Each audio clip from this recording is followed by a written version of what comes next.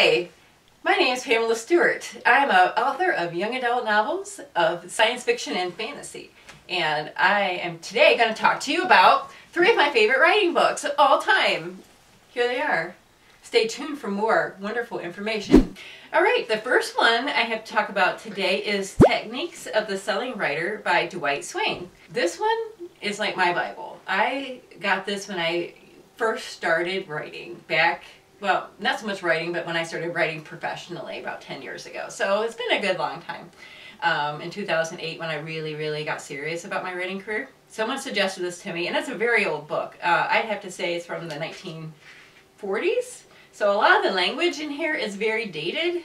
So if you can get beyond that, it does go into great depth of like scene and sequel, which so many writers have not mastered. It's how to keep your tension high in your books, how to make characters that the audience will connect to and they, will uh, express their emotions so that you can feel them when you're when you're reading them. Every point of view character should connect with your audience and this tells you how to do that.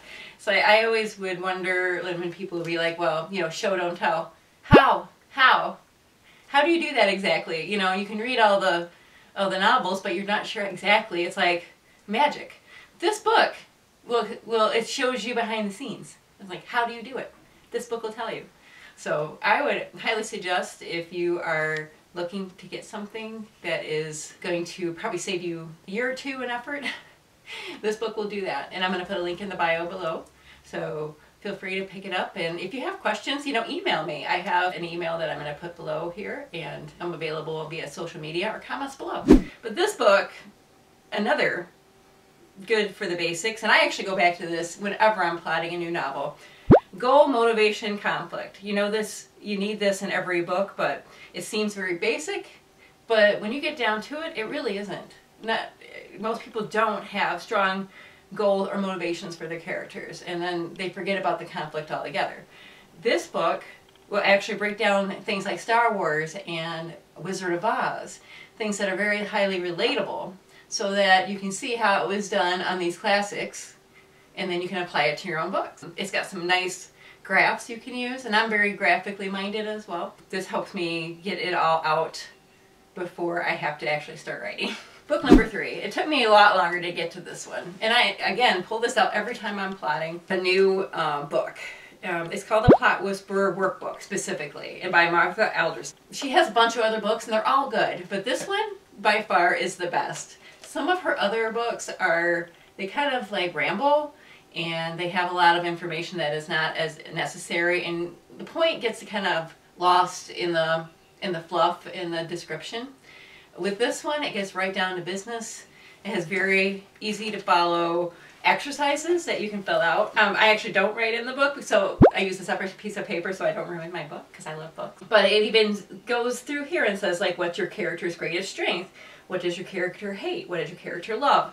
I actually do that for all my characters before I start so that I have a good feel for who they are as a character. And then this graph right here is is wonderful for plotting out your book. It says the beginning of the end. It kind of goes over your classic structure, the climax, the crisis. I gotta tell you, after reading this, I actually got this about halfway through my second book. but um, it made life after this book so much easier.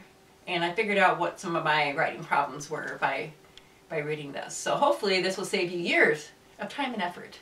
And this also, I will put a link in the bio right below here. Um, if you have any favorite writing books you'd like to share, put them in the comments. I'd love to hear them. I'm always, I'm a craft book junkie. I'm always looking for new stuff. I'm always looking to enliven my mind and to have new ideas of how to express story because I feel like by stories we connect with each other the best. It's been wonderful talking to you again and I'd love to hear your comments. If you like to see videos like this, please subscribe. Follow me on the basic social medias. These are also linked below on Facebook and Instagram. I'd love to hear from you. Uh, have a good day, and I'll see you next time.